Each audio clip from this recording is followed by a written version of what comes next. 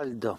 oggi il giorno 24 novembre 2020 sono arrivato da questo sentiero, da solo, da solo, da questo sentiero e arrivato qui abbastanza in cima, vedo dei tronchi a... nudi, sì, ora siamo in autunno avanzato, sono spogli, è un bel panorama anche questo, diciamo, degli alberi senza foglie. È un panorama direi piuttosto architettonico. Mi piace la diramazione dei tronchi che si svolgono eh, con un apice verso il cielo, verso il cielo sempre più sottile le punte, partendo dalla base secolare del tronco. Qui sono a una bellissima cava che questa cava praticamente è a forma di virgola eh,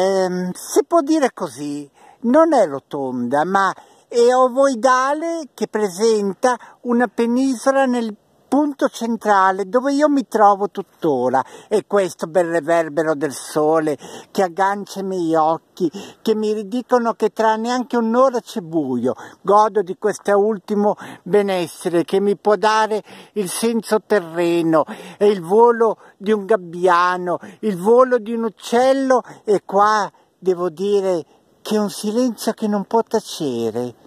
eppure c'è silenzio, però non può tacere in assoluto, tra poco passerà, passerà un volo di stormi, io mi abbandono in questo mio piacere di volare solo con la fantasia, loro animali eh, volano, volano, ma che differenza c'è tra un uomo e un animale? Tutte e due possono volare esattamente, uno in un modo e uno nell'altro. Io ammiro di fronte a me il bellissimo lago,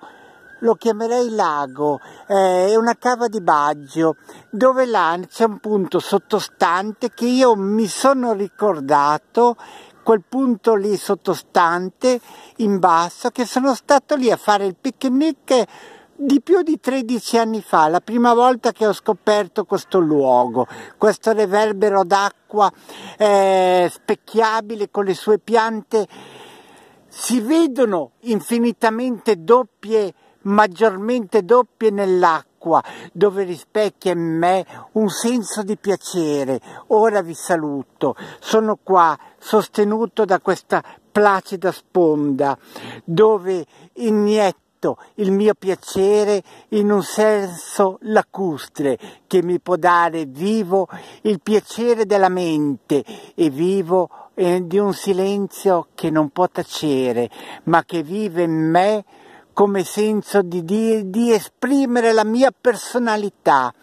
La voce, sento una voce, anche nel silenzio c'è una voce che rispecchia il mio io più profondo. Aldo.